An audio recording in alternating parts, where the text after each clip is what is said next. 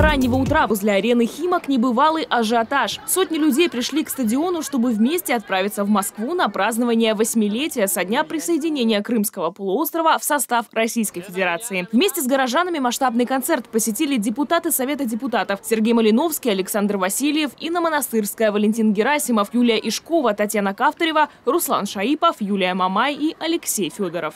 Эмоции сегодня переполняют, потому что сегодня исторический день, день воссоединения Крыма с Россией. А, мы все безумно счастливы, что это произошло. А, и сейчас мы едем на концерт в поддержку нашего президента и в поддержку нашей страны. В праздничном митинге приняли участие жители Химок, работники градообразующих предприятий, музыканты, спортсмены, активисты партии «Единая Россия». Событие очень важное для России и для наших потомков, для наших граждан.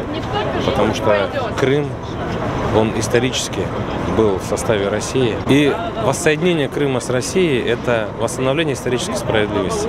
По официальным данным, в митинг-концерте приняли участие более 200 тысяч человек. 17 марта 2014 года оно вписано в историю России как историческое событие, э, День воссоединения Крыма и России. Э, в этот день э, Крым вернулся в родную гавань. И, конечно же, Крым он всегда был и является российским.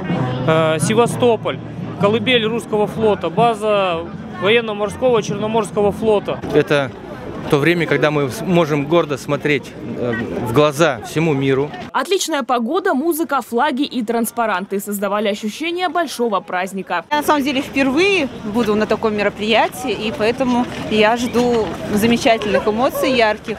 Э, отличного настроения. В праздничном концерте приняли участие звезды кино и эстрады Дмитрий Певцов, Владимир Машков, Полина Гагарина и Тимати. Свои хиты исполнили Олег Газманов и группа «Любе».